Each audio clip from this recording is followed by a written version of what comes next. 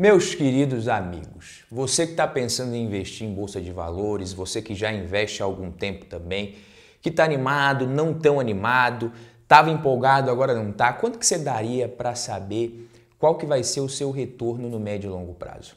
Quanto que você pagaria para dar aquela espiadinha e falar assim, porra, como é que eu vou estar daqui a 10 anos, 15 anos? Eu só quero saber qual que vai ser o meu patrimônio se eu continuar fazendo o que eu estou fazendo agora. Se eu continuar fazendo esses aportes aqui, ou eu não comecei ainda, eu vou começar agora, eu pretendo começar desse jeito aqui, com essa média de aportes, mas eu quero ver quanto dinheiro eu vou ter lá na frente, lá no longo prazo, nesse longo prazo aí que esses influenciadores tanto falam. Eu acho que você pagaria um dinheirinho bom para isso. Afinal de contas, Saber o que vai acontecer no futuro, ter certeza, né, te dá um poder muito grande.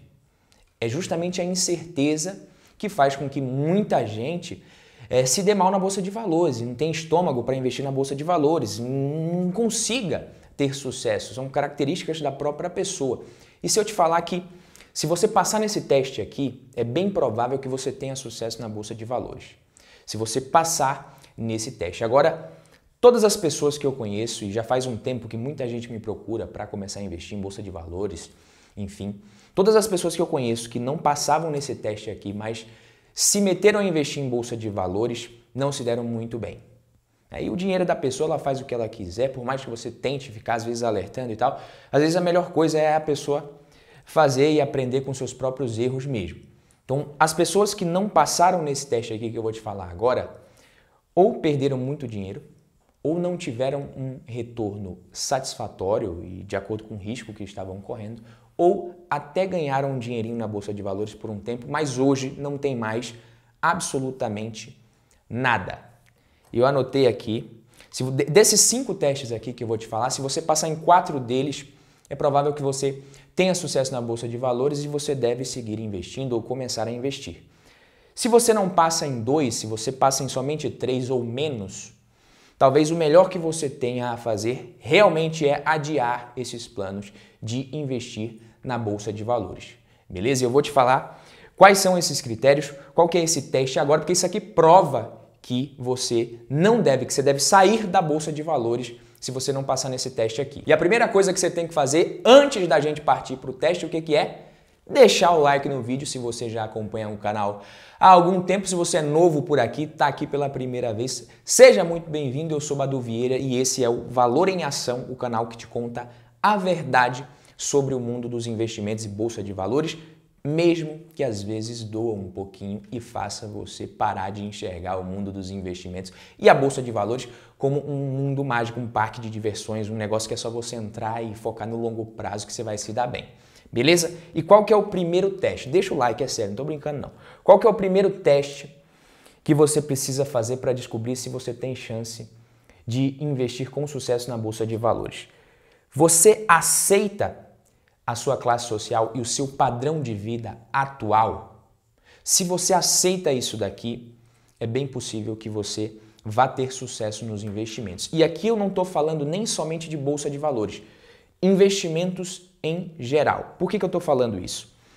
Tudo começa com organização financeira e ponto final. É por mais que você queira partir logo para ação, investir, blá, tudo começa com organização.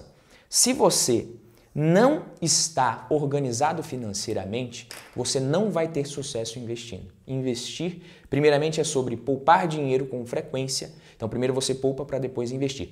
Se você não aceita a sua classe social, se você não aceita o seu padrão de vida atual, você não consegue fazer isso. Porque tem muita gente investindo em bolsa de valores né, para ter uma vida mais legal, para ter uma vida mais confortável. Só que é possível hoje em dia, com cartão de crédito, com um monte de mecanismos né, que a sociedade inventou para tirar o dinheiro, o seu dinheiro da sua mão, sem você perceber, você consegue ter uma vida e parecer que você já é de uma classe social a mais, que você já tem um padrão de vida maior do que o que você pode ter.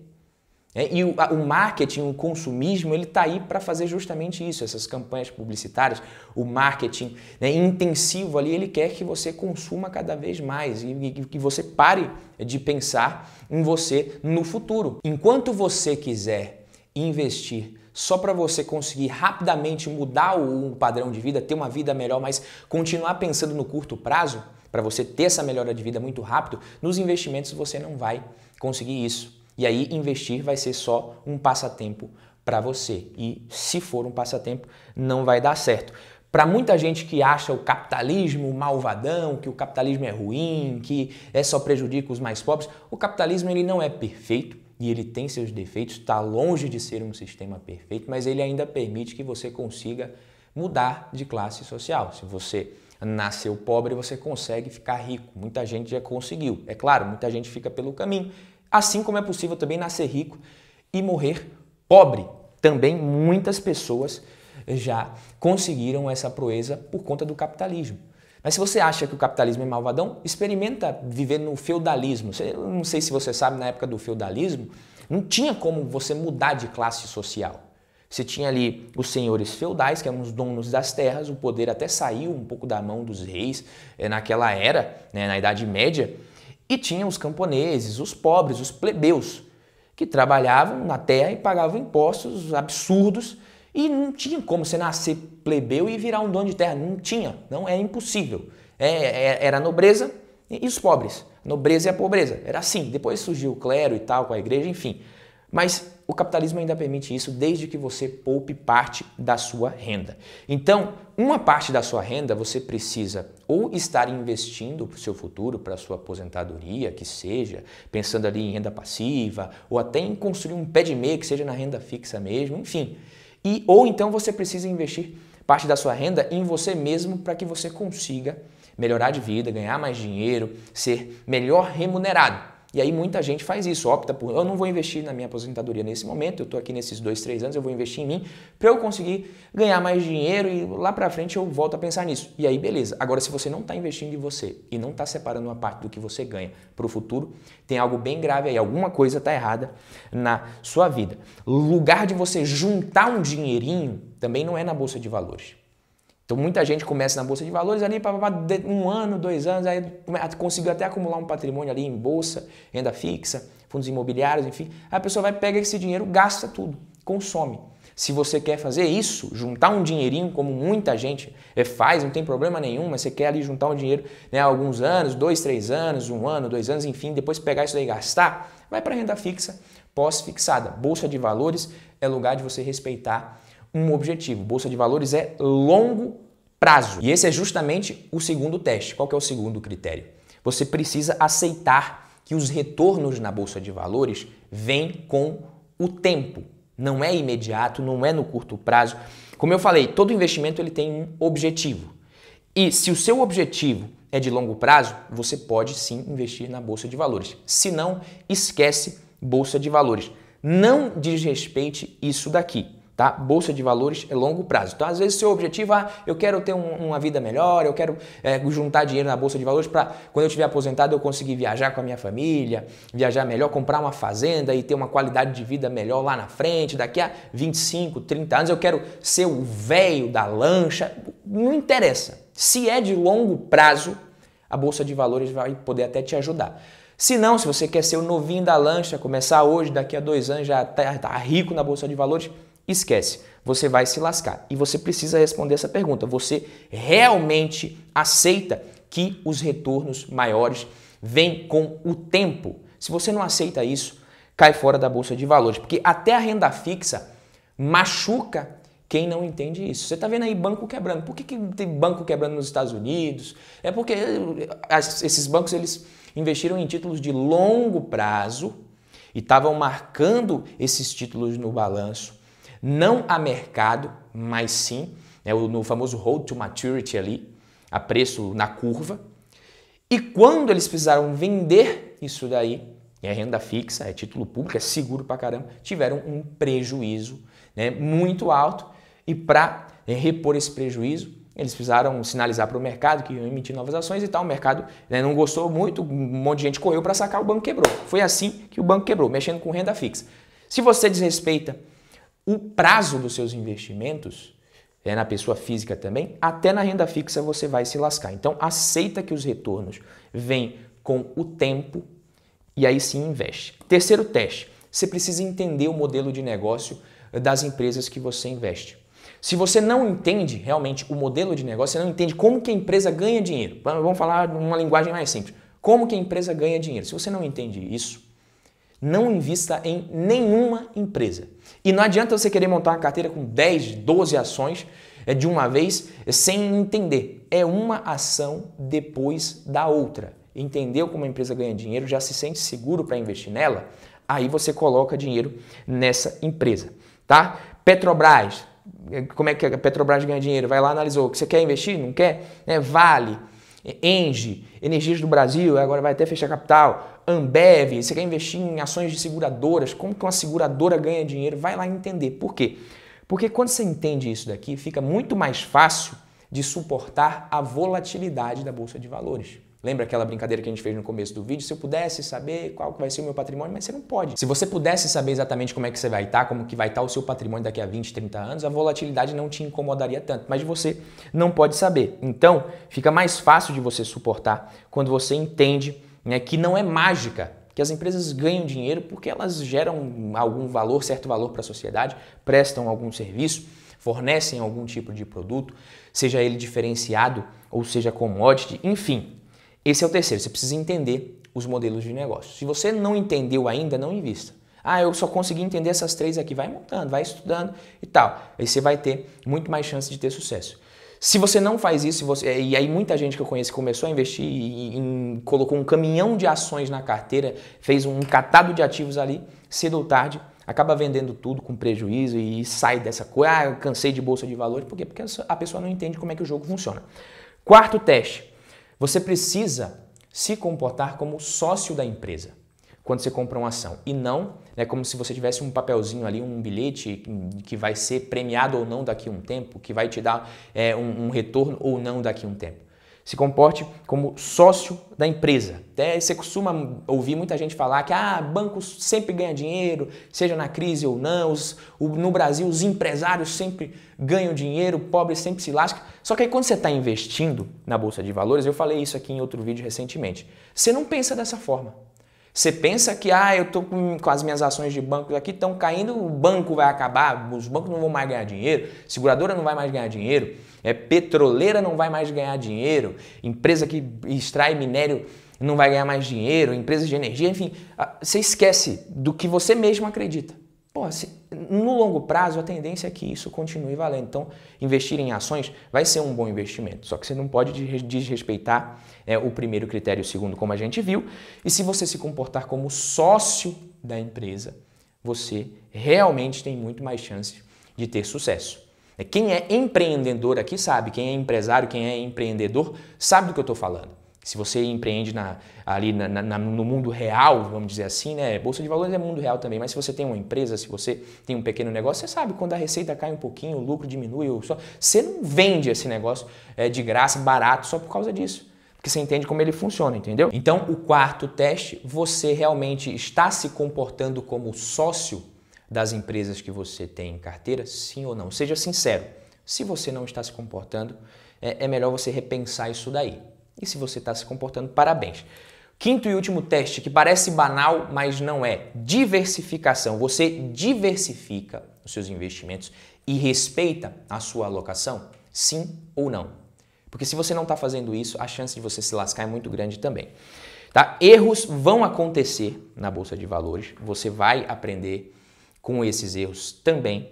É legal que você aprenda com os erros dos outros e tem aí um monte de erro. Inclusive, estou falando aqui alguns para você não cometer, mas a diversificação ela é meio traiçoeira. Às vezes você acha que está diversificando, você até começou diversificando com alocação legal, mas depois você deixa o mercado te levar, deixa a sua carteira te levar. E essa alocação muda, né? às vezes a bolsa sobe demais, ou a renda fixa sobe demais ali, a, sua, a bolsa cai e você não reajusta, você não vai reajustando, você vai simplesmente deixando o mercado te levar e comprando o que te deixa mais confortável. Então, às vezes, num momento como esse, o que está te deixando mais confortável é investir em renda fixa mas a sua alocação está pedindo para você investir em ações, em renda variável, porque está barato, e você não faz isso. Então, se você desrespeita, você vai se dar mal. Crises também fazem parte do processo, é preciso que você saia mais forte das crises, tá? A sua carteira não precisa acabar. Não remende erros ou prejuízos, o que, que eu falo de remendar? Né? Às vezes a pessoa tem um prejuízo ali, ela tem uma carteira bem diversificada, que é para se algum ativo for muito mal, é, isso não acabar com o seu patrimônio, não destruir a sua rentabilidade, não te prejudicar, não te levar a correr o risco da ruína. E funciona. Às vezes um ativo foi mal. Só que aí, ao invés de você aceitar isso daí, perder os fundamentos, vender, ou simplesmente esperar, aguardar mais um pouco, não. Você fica querendo procurar um ativo que seja mais arriscado ainda, mais problemático ainda, mas que tenha um potencial de te fazer recuperar o prejuízo que você teve naquele ativo especificamente. Então, uma ação foi muito mal, eu vou procurar um aqui que está pior ainda, mas que está muito barata, que pode me dar um retorno maior. Então, você vai correndo um risco maior para recuperar um prejuízo, você não precisava se preocupar se a sua diversificação está funcionando. Por isso que eu falo que é traiçoeira. Então, se preocupe em aumentar a sua pizza com novos aportes. Tá? A sua carteira de investimentos é uma pizza, você já definiu os sabores ali nas suas fatias, você vai aumentando a sua pizza. Você não precisa aumentar o número de fatias, ficar acrescentando um monte de coisa que você nem conhece direito, né, só para tentar é, recuperar um prejuízo eventual ou, ou, ou uma queda eventual que você está sofrendo em um ativo especificamente. Então, normalmente os ciclos na bolsa de valores eles funcionam assim: você tem um, uma parte lá de excesso de confiança no topo e lá embaixo pânico. Muita gente gosta de investir em renda variável e se sente atraído por renda variável justamente quando a gente tem o excesso de confiança, que é próximo da máxima. E aí muita gente prefere renda fixa na hora do pânico, quando as ações estão muito mais baratas, em queda, caindo pra caramba. E quando você faz isso, quando você compra no excesso de confiança e vende no pânico, a tendência é que você compre caro e venda barato, e isso aí traz prejuízo. Se for para fazer isso, não mexe com bolsa de valores. E todo mundo está sujeito a esses vieses comportamentais, emocionais, vieses cognitivos, tá? Não interessa. Sabe por que eu estou falando isso? Porque mesmo com uma boa alocação, mesmo quando você respeita a sua alocação, sua carteira está bem montada, nesses momentos de maior incerteza, medo, você vai ser obrigado a refletir, pô, será que a minha estratégia realmente é certa? É, o seu cérebro ele vai tentar te pregar essas peças. Será que eu não deveria realmente vender essas ações aqui? Só cai. Eu sei que tem fundamento, mas só está caindo, renda fixa está subindo. Você vai ser obrigado a passar nessa prova de fogo. Se você está respeitando a sua alocação, por mais que isso aí te incomode, né, você ainda consegue né, passar no teste, você ainda consegue manter o plano em andamento, manter a execução da sua estratégia. Mas sem isso, né, se, nesses momentos de incerteza, a sua alocação está errada, ou você está muito exposto, é, ou você comprou um monte de coisa que você nem sabe como é que funciona, isso daí faz com que você entregue os pontos justamente na hora que você deveria mais é, investir. É porque você não vai aguentar. E aí, quando você não aguenta, não tem jeito, meu filho. Isso aí você não está aguentando dormir, você não está conseguindo pensar em outra coisa, a não ser o seu patrimônio que está caindo. Você vai vender tudo na pior hora. Só para a gente resumir e recapitular aqui quais são os testes. Você aceita a sua classe social, seu padrão de vida atual e mesmo assim poupa um pouco para investir é, para o longo prazo ou para você conseguir ganhar mais? Se sim, você pode ter sucesso investindo na bolsa de valores e como investidor de forma geral. Você aceita que os maiores retornos vêm com o tempo? Se sim, você pode realmente ter muita chance de ter sucesso investindo em bolsa de valores, porque é assim que ela funciona. Você entende o modelo de negócios das empresas que você tem na sua carteira? Se sim, beleza. Você se comporta como sócio e não enxerga aquilo como um bilhete de loteria? Se sim, bacana. A diversificação realmente é respeitada e é a sua melhor gestão de risco, você diversifica e respeita a sua alocação. Esse é o quinto teste. Se você passa no 5 aqui, a chance de você ter sucesso na bolsa de valores é muito grande. Eu quero que você comente aqui em quantos testes você passou. Se você reprovou em dois ou mais, né, eu recomendo que você repense, talvez fique de fora de bolsa de valores por enquanto, até que você amadureça e melhore. Alguns desses critérios aqui, talvez com o tempo e com o estudo, você consiga melhorar muito. Outros, talvez tempo nenhum vai te fazer mudar, porque é coisa da gente mesmo. Beleza, meus queridos amigos? Esse foi o vídeo de hoje. Fico por aqui. Quem gostou, deixa o like, se inscreve, que a gente se vê na próxima. Tamo junto, valeu. Um abraço.